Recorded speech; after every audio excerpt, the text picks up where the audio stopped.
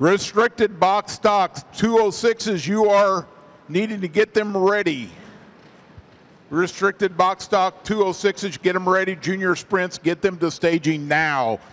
Starting off in the pole, driving the number 6D is Riley Dawson. Outside of him, driving the number 17, uh, Peterson.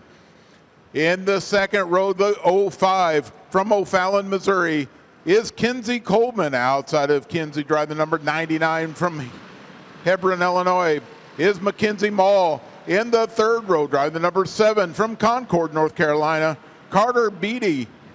Outside of him, driving the number B1 from Pontiac, Illinois, is Ryden Baum. Rydell Bomb. And in the final row, driving the number 26 from Hendricks, Iowa, is Walker Overturf.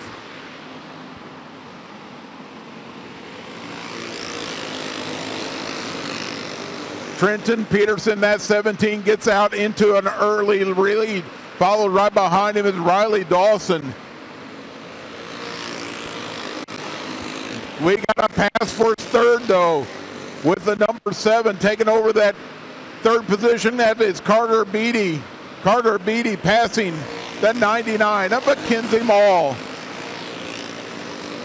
But Carter's not done yet. He's moving over, taking over that second spot with an inside move coming out of turn number two. Carter Beatty moving up to second and now has his eye on the leader, but do he, does he have enough time to get there?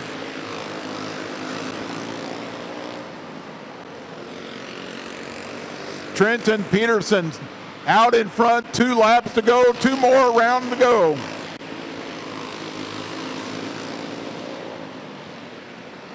The white flag will be displayed as they come out of turn number one. One more lap to go for Trenton Peterson, right on the tail though. Up Trenton is at number seven at Carter Beatty, but the checkered flag drops for Trenton Peterson.